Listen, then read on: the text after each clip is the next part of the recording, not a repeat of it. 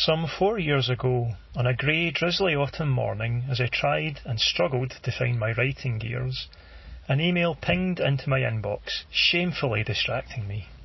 A new exhibition was being put together, called Titans of Cinema. I took in the title and the imagery, and I experienced a huge frisson of excitement, for it was all based on one of my heroes, the cinematic genius Ray Harryhausen.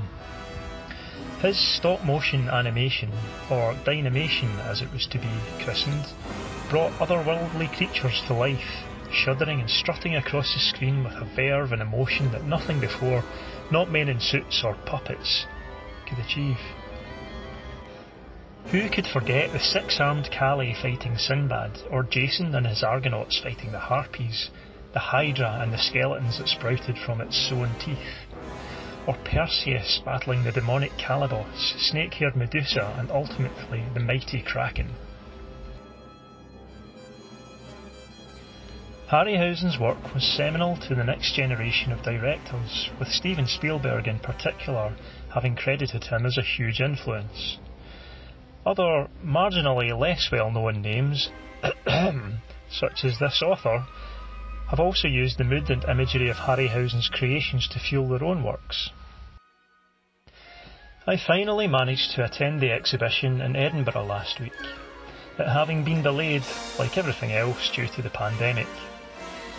On display were his early models and sketches, storyboards, including the tantalising frameworks for a version of H.G. Wells' War of the Worlds, and many of the original models he used for his animations.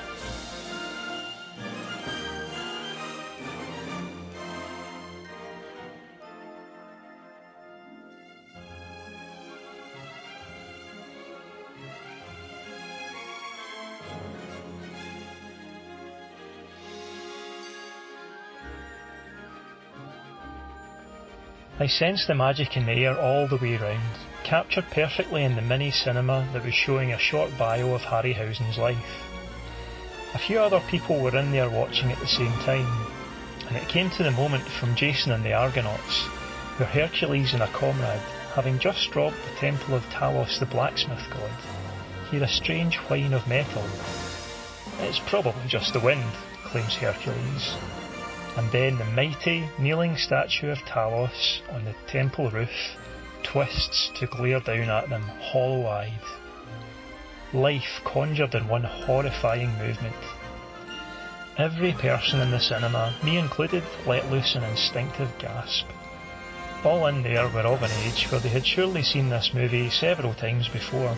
Indeed, that's probably why they were there in the first place. And that just demonstrates the genius of it all you know it's coming, you know how it ends, but every single time it takes you on that magical journey. Go, see this exhibition if you can, set sail on the Argo, let your imagination loose.